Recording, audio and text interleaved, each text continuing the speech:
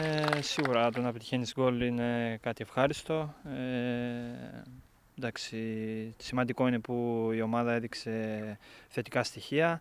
Ε, αυτά που κάνουμε στις προπονήσεις ε, βγήκαν στον αγωνιστικό χώρο.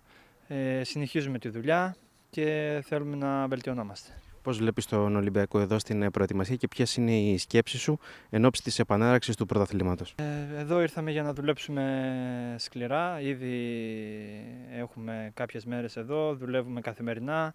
Οι προπονήσεις είναι μεγάλες, είναι δυνατές. Ε, αυτό μας βοηθάει έτσι ώστε να είμαστε καλύτεροι σε φυσική κατάσταση μέσα στο γήπεδο.